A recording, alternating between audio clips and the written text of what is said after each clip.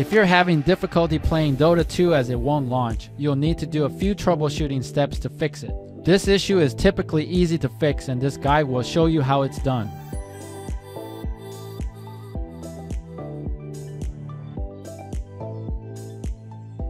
Dota 2 will not allow you to join an online multiplayer match or mode if the game client is not up to date.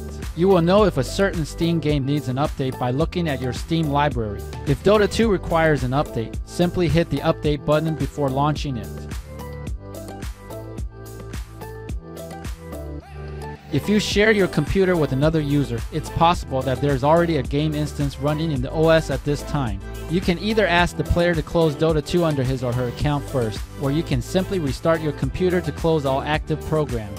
Once you've restarted the PC, try loading Dota 2 again to see if that works.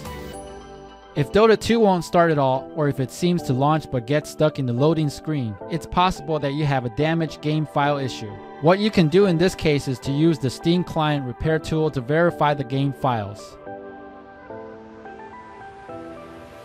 Some games may crash, become stuck in the loading screen, or encounter launch issues due to outdated drivers. As a PC player, you must know how to update your graphics driver to ensure that your system can play games with the least chance of issues. You also want to ensure that you check for Windows Update at this time. Some devices may receive driver updates via Windows Update.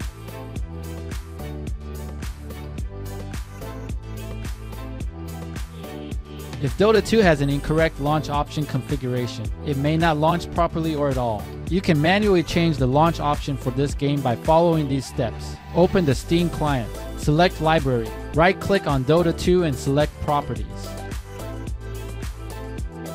Under General tab, look for Launch Options box and type in Auto Config. Restart Dota 2 and try to check if the game now loads normally.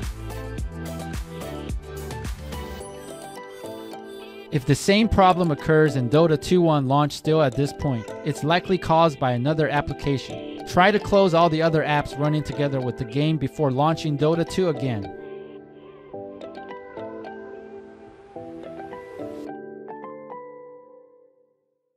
If you're using an antivirus or any security software, it may be misidentifying the game as a threat and blocking it from launching.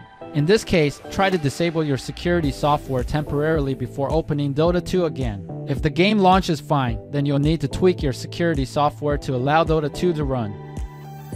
That's it. We hope this video is helpful to you. Please subscribe to know our latest videos in the future.